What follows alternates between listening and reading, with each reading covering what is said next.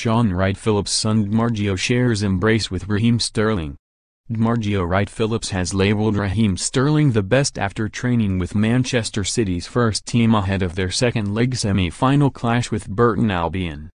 Despite City's 9-0 scoreline in the first leg, Wright-Phillips is not expected to face the League One outfit on Wednesday night. D'Margio, who is the son of former Manchester City and Chelsea winger Shaun, took to Instagram to heap praise on Sterling. He uploaded a picture of himself embracing Sterling alongside the caption, learning from the best.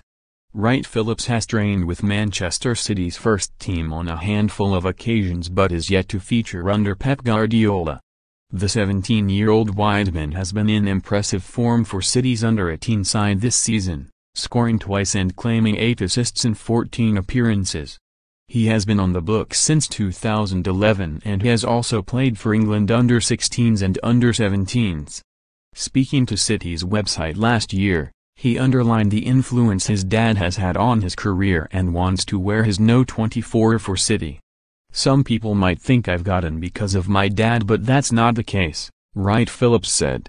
My chosen number would have to be my dad's old number, 24. At the moment my shirt number depends on where I play or if I am on the bench. I was a City fan growing up so it's fantastic to be here. Ever since I can remember I've always wanted to be a footballer. D'Margio doesn't only have a famous dad as his uncle, Bradley Wright-Phillips, plies his trade in MLS for New York Red Bulls after also progressing through the ranks at Manchester City. And his grandfather Ian Wright, who adopted Shaun when he was three is an Arsenal legend and now works as a pundit for the BBC. Shaun finished his career in Major League Soccer in the United States, via a spell at Queen's Park Rangers, with New York Red Bulls and second-tier side Phoenix Rising. Guardiola has confirmed he will ring the changes for their second leg clash with Burton with Benjamin Mendy expected to start.